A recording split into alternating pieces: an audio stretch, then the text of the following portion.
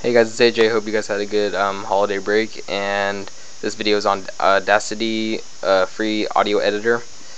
And to show you what it is, it pretty much you can edit your audio just like it sounds. Pretty much you just grab an MP3, you pull it in, and it takes a little while for it to import, but it, you can remix your own MP3s. And I just have to wait a second, but yeah, I don't really think I would use it because I don't really remix it, but it's just audio editing so pretty much you can zoom in and out just as easy as clicking that.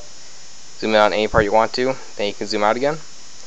Uh, you can play you can you can mix different mp3 play mp3s their Audacity is pretty much as simple and it's free but yeah it has different effects like it has amplify uh, bass boost change pitch and as you can see there are a lot of them there's generate silence tone white noise click track pluck project, you can import different projects and uh, view, zoom in, and it has different views. Edit, pretty much as it sounds. Uh, analyze, and there's even help.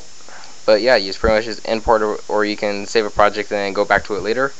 But if you want a free audio editor, Audacity is a really good choice and program. Hope you guys enjoyed the enjoyed this video. Uh, subscribe, comment, rate if you like my videos. Uh, see you next video.